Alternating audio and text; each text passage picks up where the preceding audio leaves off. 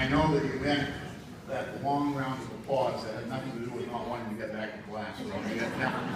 Thank you very much. Thank you for the reception uh, on our behalf this morning. Really enjoyed getting back into high school and seeing all the faces out in the audience. Thank you very much. Mr. Hall?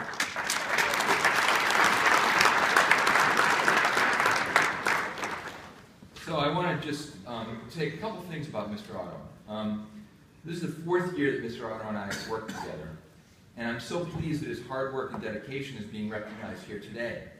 I want to thank Emily Grant and Mr. Duras for identifying some of the ways in which Mr. Ottow has distinguished himself in his work. Um, among the faculty, we like to think about everything we do by asking the question, is it good for students? And in my work with Mr. Ottow, this is the question that drives the decisions that makes he makes every day. Parts of his job, as you know, are not fun. He's the guy who has to, students have to see when they've broken a rule, skipped a class, snuck out of school, etc. Yet each interaction that he has with students, and for that matter with adults, is done so with respect and genuine caring. As a principal and assistant principal, we work really closely as a team.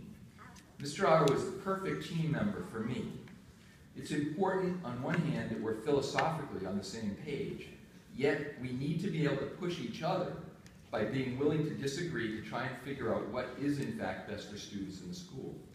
Mr. Ottow makes me a much better principal than I would be on my own because he helps me to see different perspectives, to think of things I would never have thought, and to do the best work that I can. Rosalynn Carter once said that a leader takes people where they want to go, a great leader takes people where they don't necessarily want to go, but ought to be. I feel that Mr. Ottow has demonstrated his ability to do just that, both with individuals and with our school. He's helping many of us to go places we didn't think we were going to go. Congratulations. John.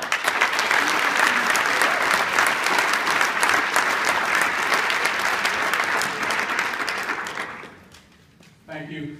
Thank you very much to all of you. I can't tell you how much that means to me. Um, thank you, Mr. Gross and to Ms. Codier and, and, to the Maine Principals Association. And thank you, Grant and Emily. I, I can't tell you how much your, your words mean, especially coming from both of you. I'm incredibly honored and proud to represent Yarmouth High School, Superintendent Doloff, the Yarmouth School Committee, and all of Yarmouth schools with this recognition. It is very humbling to represent my profession, as I know there are so many excellent assistant principals in this state.